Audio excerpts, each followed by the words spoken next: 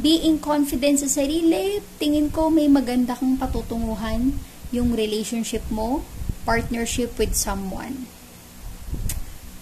Nakikita niya yung potential mo for a long-term commitment. Maaring potential for a relationship, marriage proposal, or maaring this is a career opportunity. Hi, air sign, Gemini, Libra, and Aquarius. This are Gem in year tar readers. So, air sign, alamin natin ang sitwasyon na na-encounter or may encounter mo. Just a reminder, this is a general reading, so this may or may not resonate with you, so don't take it personally. This is just a guide. This is also a timeless reading, so kung mapanood mo ito sa ibang panahon at ibang pagkakataon, possible na nakatadhanang mapanood mo ang reading na ito, maaaring yung mga advice and messages na mapupull out natin ay makatulong sa iyong sitwasyon.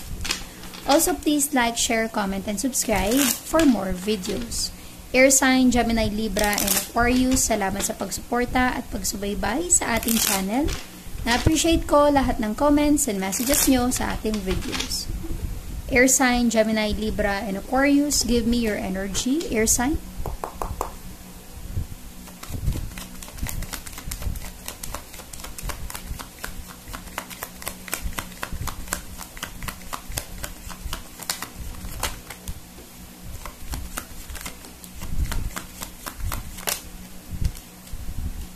Okay.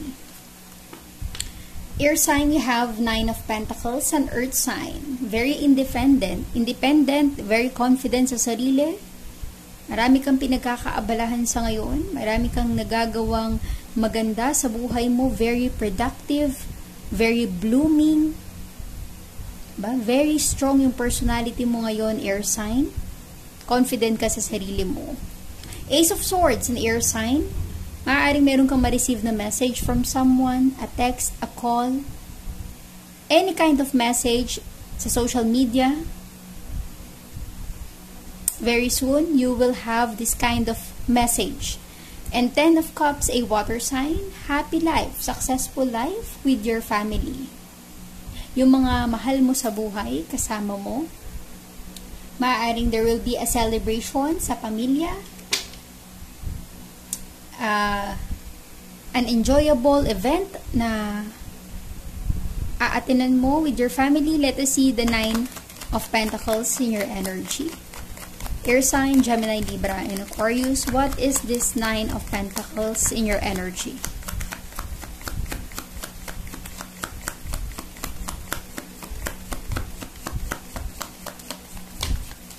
Okay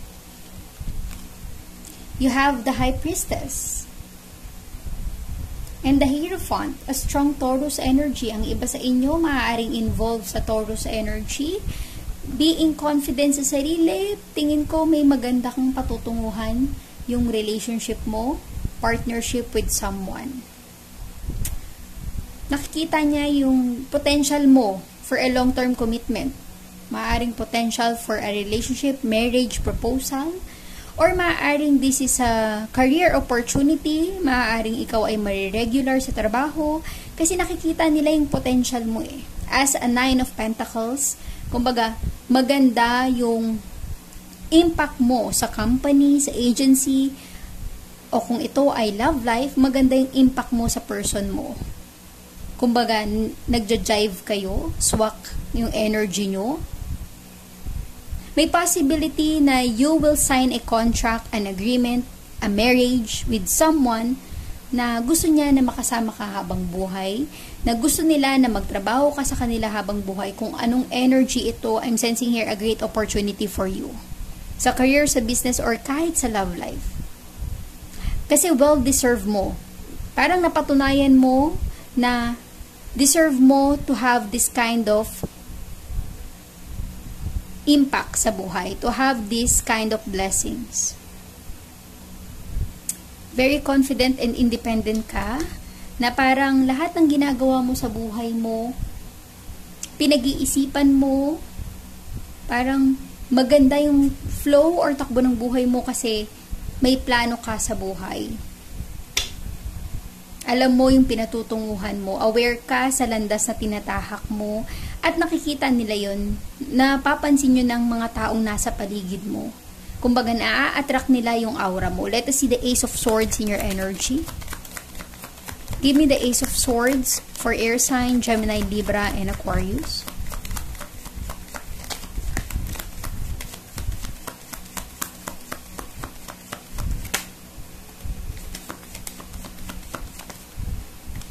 Okay. You have this, the Knight of Cups, a water sign. And the Five of Pentacles, an earth sign. Gaya ng sabi ko, this is a message from someone. Maaaring someone na iniwan ka sa ere noon, pinabayaan ka noon, at ngayon nagbabalik. This person will message, contact you sa kahit, papa, kahit anong paraan. Will make an offer sa'yo. Maaaring offer of apology, makikipag-ayos, makikipagbate. Gusto niya na magkaroon kayo ng reconnection sa isa't isa dahil alam niya yung nagawa niya yung pagkakamali noon at gusto niya itong itama. Through message, maaaring at some point binlock mo siya sa social media or hindi mo siya pinapansin. Ngayon, nagkukumahog siya para magpapansin sa'yo. At some point, nasa sa'yo ang desisyon, air sign, kung bibigyan mo siya ng chance. Kasi nga, noon, pinaramdam niya sa'yo yung pagiging cold-hearted person niya. Di ba? Yung parang pinaasa ka, iniwan ka sa ere, pinabayaan ka. Tapos ngayon magbabalik siya para itama yung pagkakamali. Kasi na-realize niya yung fault na nagawa niya ngayong confident at blooming ka na sa sarili mo. Parang marami ka nang na-achieve or na-attain sa buhay mo ngayon siya magbabalik. Let us see the Ten of Cups in your energy. Air sign, Gemini, Libra, and Aquarius.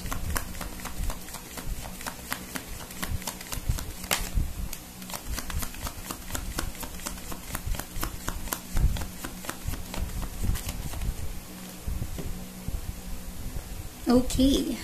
You have the Seven of Swords, an air sign, and the Judgment. With the Ten of Cups, happy life, I'm sensing here with the Seven of Swords, usually ang Seven of Swords is cheating betrayal. Maaring isa itong factor sa mga nagawa ng person na ito. However, this Seven of Swords tells me na someone stalking you sa mga achievement na natatamasa mo sa buhay mo, sa kung ano yung outcome or resulta na nangyayari sa'yo. Parang ini-stalk ka niya at kasi gusto niyang malaman yung update sa'yo this person is really eager na magbalik sa buhay mo. Nafe-feel ko yung energy niya. Kasi, parang ikaw yung tipo ng tao, air sign na very confident, attractive, at nahahatak mo yung attention ng iba. So, kung ano man yung natatamasa mo ngayon, tingin ko there is someone, kung sino man ito, na chinecheck lagi yung update mo ano na yung improvement mo sa buhay mo. Gusto niya man mag-take ng action towards you, hindi niya magawa-gawa dahil marahil nakablock siya, nakablock siya sa iyo. Dahil sa mga pagkakamaling nagawa niya. Let us see. Angel guide, give me some message, advice for air sign, Gemini, Libra, and Aquarius.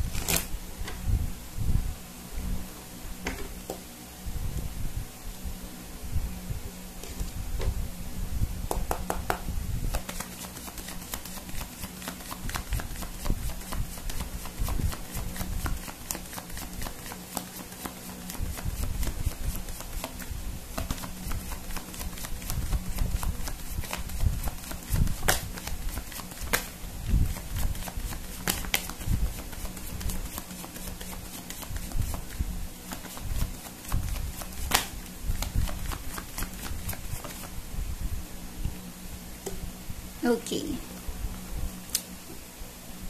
Air sign, if you believe the situation will improve, there's abundance.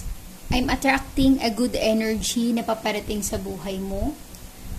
Diba? Your situation will improve if you believe na sitwasyon mo ito, air sign, manifested. Diba? Attract this energy. Oracle Guide, give me some message, advice, for air sign, Gemini, Libra, and Aquarius.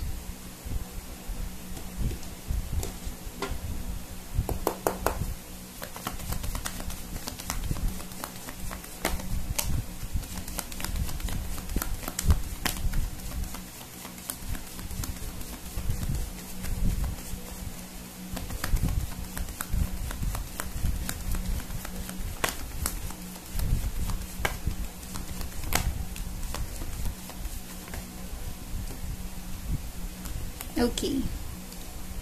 Air sign, a time to give rather than take.